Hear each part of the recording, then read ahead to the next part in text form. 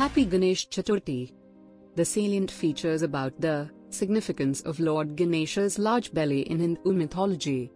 Lord Ganesha's big belly symbolizes his capacity to absorb both the positive and negative aspects of life. It signifies his immense wisdom and knowledge. Symbolic significance of Lord Ganesha's elephant head. Ganesha's elephant head symbolizes wisdom, strength, and good fortune. The elephant's trunk is considered auspicious in Hindu rituals.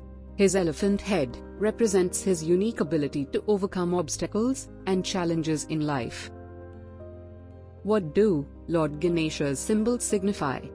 Lord Ganesha's symbols encompass not only his big belly and elephant head, but also his forearms, representing cardinal directions, his mouse mount, symbolizing control over the mind, and his broken tusk, a sign of self-sacrifice for a greater purpose.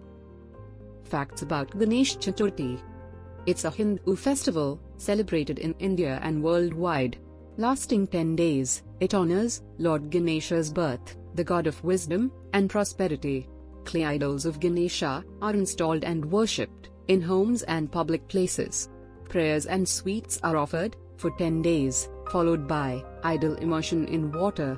It's a time for celebrations, feasting, singing, dancing, and is one of India's most popular festivals.